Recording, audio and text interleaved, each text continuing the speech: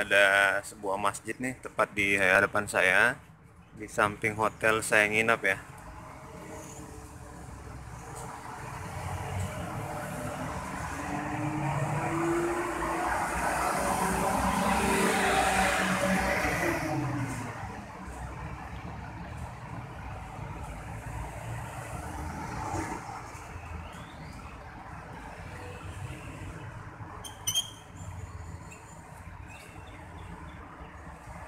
Nih, jadi jalurnya sepertinya ini ada jalur masing-masing ya pengendara roda 2, roda 4, begitupun sepeda ya.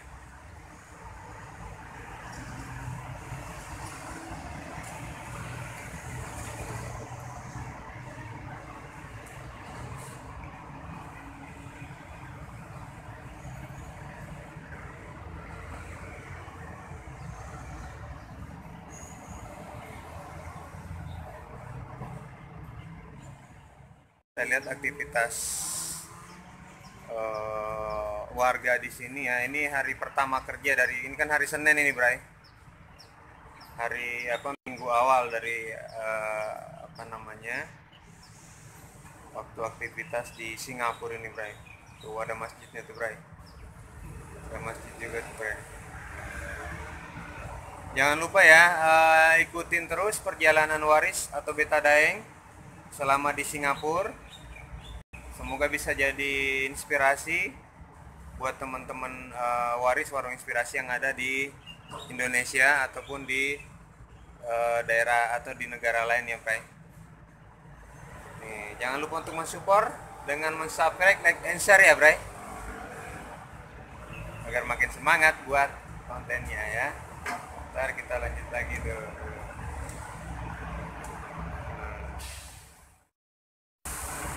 Ini adalah salah satu halte salah satu halte bus yang berada di samping hotel saya nginap ya. Oh.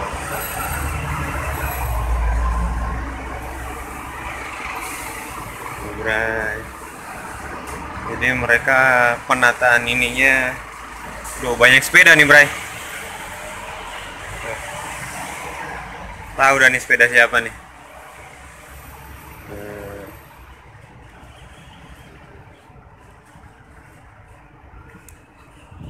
Nih, jadi haltenya dia seperti ini, Bray.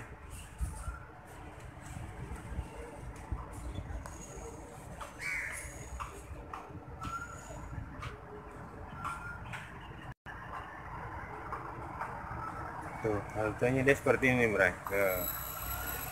Ini halte halte bus salah satu halte bus yang ada di daerah ini ya.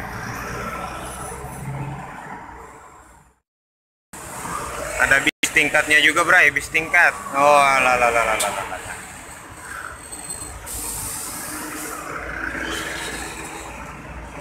tuh haltenya tuh.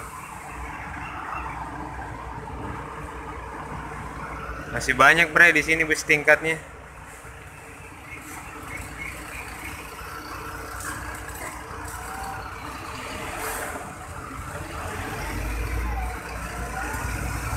nanti saya akan coba menyeberang. Kita tunggu dulu ini masih merah ini eh, lampu untuk pejalan kaki ya.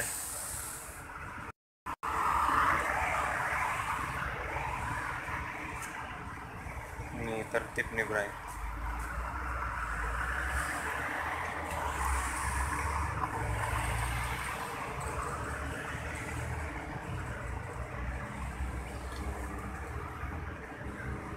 mobilnya bagus-bagus nih bray. Nih. Wah. Itu kayaknya ada yang ngelanggar itu. Nggak tertib dia ada.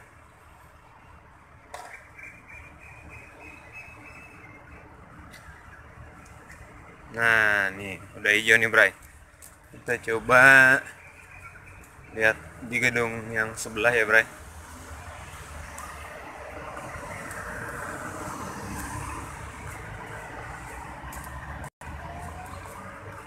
diliatin orang gue bray ini no pakai batu akik banyak bener.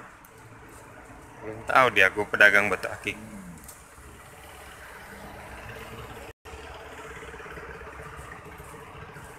Nah. ini terlihatnya mirip-mirip di Kotu ya Bray? Gedung-gedung tua. Masih ada juga nih di sini Bray ternyata gedung-gedung tua nih tapi ya tidak pengaruh lah ya tidak merusak pemandangan di negara ini. Karena terlihat memang tertata rapi ya. Sama kayak kita di Indonesia rapi. Walaupun gedung tua juga ya.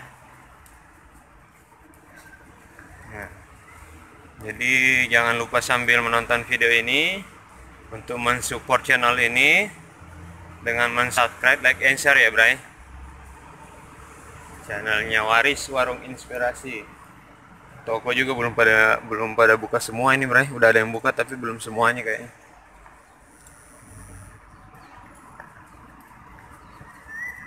North Red Road. Nah saya mau bisa baca doang bray tapi artinya orang tahu.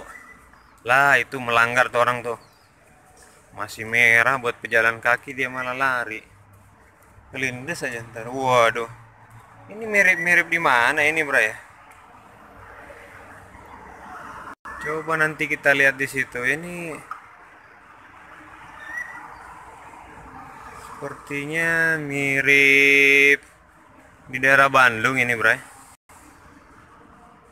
Nah. Jadi di sini ini kita harus tertib, Bray. Harus tertib di sini untuk menyeberang. Ya nah, nah. jadi edisi kali ini edisi waris jalan-jalan pagi di hari uh, Senin ya. Karena kemungkinan hari ini saya ingin nyebrang ke Batam jadi saya ngambil tiketnya di Batam aja Bray. Nih jangan kita nyebrang sembarangan Bray. Ntar kita ngelanggar lagi. Tuh mirip-mirip kotu atau di mana ya? Ya kotu lah ya. Ini bangunan-bangunan lama sepertinya. Namun masih tertata rapi. Nah ini udah hijau nih Bray. Nah udah hijau. Itu udah boleh nyebrang. Tapi tetap harus hati-hati. Aduh udah, udah. Udah, udah, udah. Nah. Jadi ini edisi jalan-jalan waris ya. Wow tuh. Masih ada burung nah. Inilah suasana pagi hari.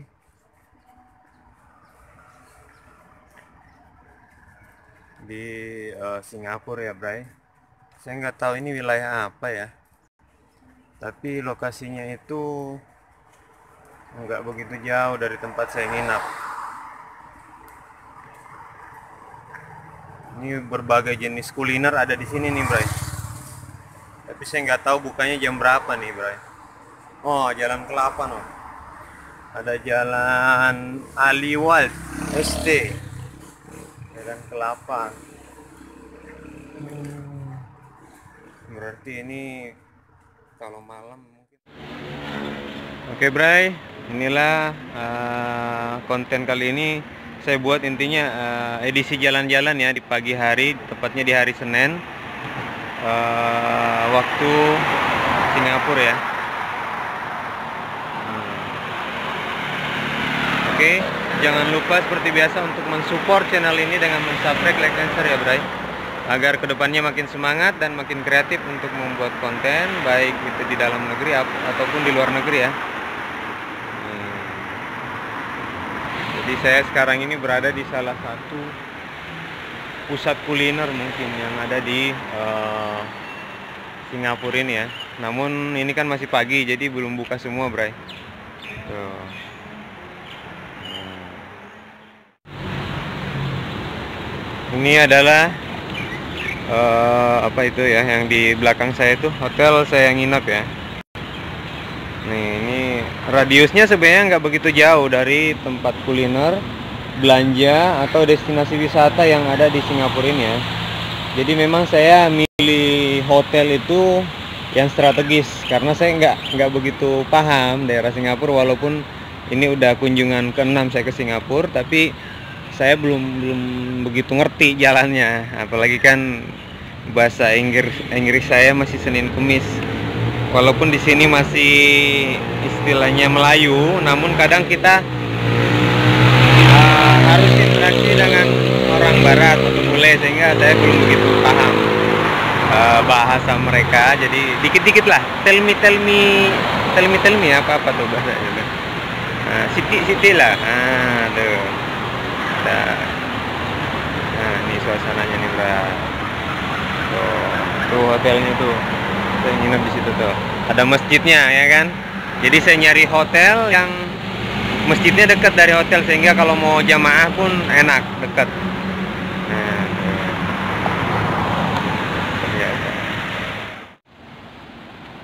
nah ini masih sepi banget ini Bray